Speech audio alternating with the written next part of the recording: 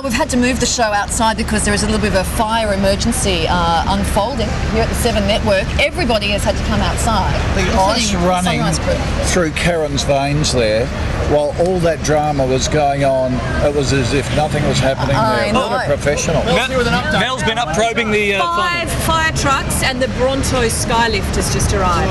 That's the big crane. You know it's serious when the Bronto Skylift arrives. Yes. Do we know? We still know. Cute fireman, says Nuala. We don't know what the problem is. We don't know what the problem is, though, do we? Tell us what happened. You guys were in a meeting, right? We're in the boardroom and it started to smell a little bit. We do lots of these very high-powered meetings.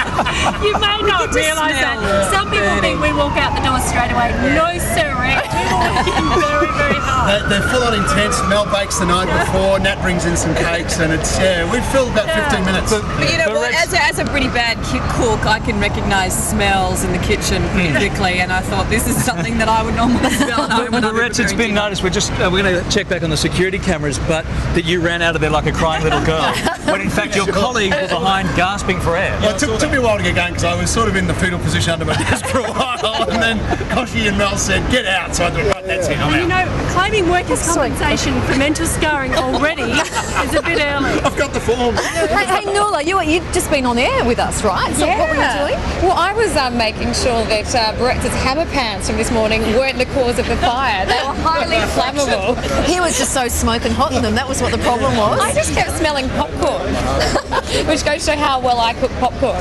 Now, Alex, Alex Cullen, who is our 6 p.m. sport presenter, what's going to happen to the 6 o'clock news tonight? You're, Well, I was actually in getting changed. I was downstairs, and uh, I had to actually literally run out with my shirt half on.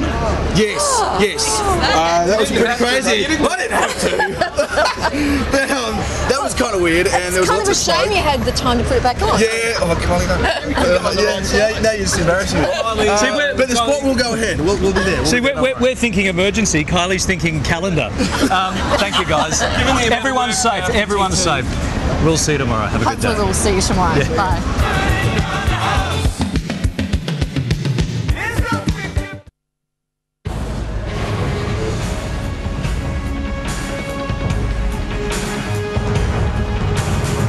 Good morning. Welcome to 7 News. I'm Ann Sanders. Firstly, we need to explain this morning the emergency underway here in the 7 newsroom.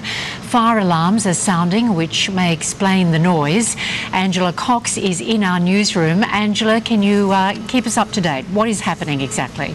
And about 20 minutes ago, staff were sitting here in the newsroom and we smelt a smell of sort of like electrical burning smoke. We didn't know what it was, thought it may have been a light that had blown, but smoke filled the newsroom. So, um, as a precaution, our workplace health and safety officer has evacuated the building. Well, at least non urgent operational staff. So, we've got about 200 staff who have left. That's our editors, our producers, our researchers, and really only the main staff here who have to be here to keep this um, show on air are in the building at the moment. Firefighters have arrived and they're looking at the cause.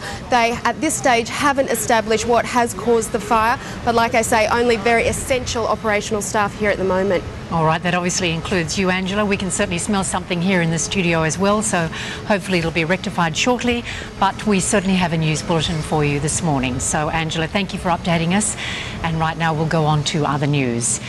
A minute's uh, silence has been observed to mark Remembrance Day today, 91 years. Next in 7 News, we'll check the markets and we'll also check on the fire emergency here at the 7 studios.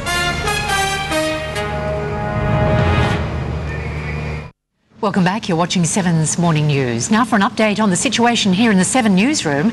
Staff have been evacuated after fire alarms sounded around 30 minutes ago. Smoke has been seen coming from the building, but we've been cleared to continue on air with the morning news. Fire crews have arrived and are assessing the situation.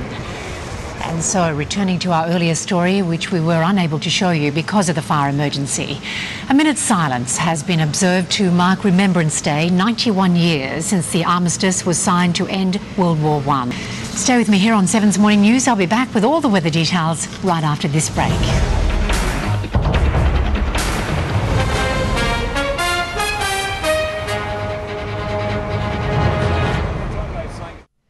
Time now to check the national weather around the capitals today. Brisbane fine, a top of 27 degrees. Sydney fine, a top of 24. Canberra dry today and 33. Melbourne mostly sunny, a top of 31 degrees. Hobart mainly fine and 23. Very hot in Adelaide today, a top of 39 degrees. Perth fine and hot and 29 degrees. Darwin can expect overnight storms after a top of 35 degrees. Before we go this morning, we'll update you on the fire emergency here at the Channel 7 studios in Martin Place. Today Tonight, reporter David Richardson is outside the building with evacuated staff.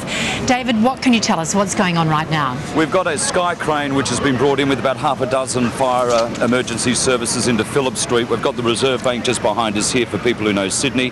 This is Phillip Street, the courts are down the road. The sky crane is now looking at smoke that is coming out of uh, what looks like a 10th floor uh, air conditioning duct. Um, this all started about uh, an hour ago, and as you probably know, um, up on our level on Today Tonight's offices on level four was where we first noticed it. It seemed that we were the closest to the actual smoke itself.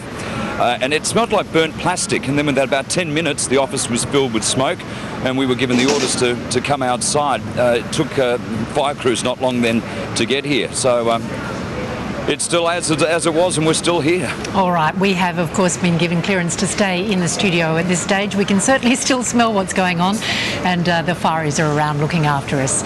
So, David, thank you very much for updating us on the latest situation there. That's David Richardson from Today Tonight. And that is 7 News to Now. We will keep you up to date throughout the day and in our bulletins at 4.30 this afternoon tonight at 6 o'clock. I'm Ann Sanders. Thanks for your company. Bye for now.